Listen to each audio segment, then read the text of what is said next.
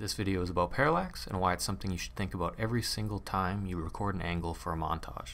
Now the definition of parallax is the displacement or difference of apparent position of an object viewed from two different lines of sight to show the difference parallax and non-parallax. If you have a camera locked on a tripod or a fixed position and it pans from left to right the objects will appear frozen or stuck to the background. You'll see the foreground objects will move the same speed as the background objects. But to create parallax you actually need the camera to be moving rather on a dolly or or a jib or anything that causes it to move. And when the camera is moving you're now creating different um, lines of sight as it moves, and the foreground objects will move faster than the background objects, and the midground objects will move at their own pace. This will create a more dynamic shot and just brings more life into the shot. Now let's use parallax to improve a shot. Here's a basic angle of just showing a character running. And as you see, there's nothing in the foreground. It's kind of just a a wider, kind of boring shot. But as soon as we add an element in the foreground or something wiping past the camera, it becomes more dynamic because you're creating parallax. So you can play around with this more, try to get grass in the foreground. The faster your camera moves and the more objects in your foreground, midground, and background will just improve the parallax of the shot and just really make it more interesting.